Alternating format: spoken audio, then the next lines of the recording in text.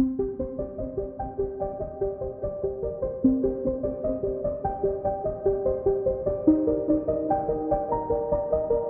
Pengacara terpidana kasus Vina Oto Hasibuan geram dengan Pak RT Pasren yang disebut memberikan keterangan palsu. Bahkan Oto menyebut Pak RT dan anaknya yakni Gavi bisa terjerat aturan karena memberi kesaksian palsu saat diperiksa oleh penyidik. Dikutip dari Tribun News Poker, hal itu disampaikan Oto Hasibuan saat bertemu dengan Dedi Mulyadi. Borak Pak RT terbongkar setelah Dedi Mulyadi menghadirkan satu demi satu saksi. Di antaranya Teguh, Ahmad Saifuddin alias Udin, Pramudia, dan Okta yang merupakan merupakan teman nongkrong terpidana yang kini dipenjara.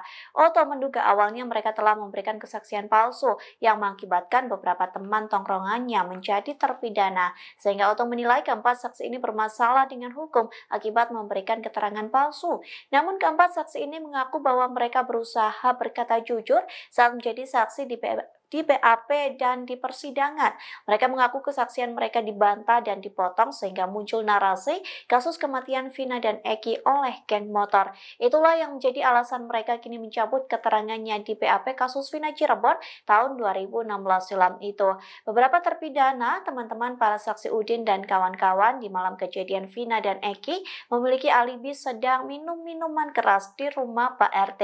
Bahkan saat itu mereka sekitar bersepuluh orang juga menikmati kebersamaan dengan anak Pak RT yakni Kavi. Bahkan Kavi sendirilah yang membeli minuman keras untuk diminum bersama dengan Udin dan kawan-kawan termasuk beberapa terpidana yang kini masih dalam penjara. Namun anehnya Kavi ini justru tak dijadikan saksi dalam kasus Vina Cirebon.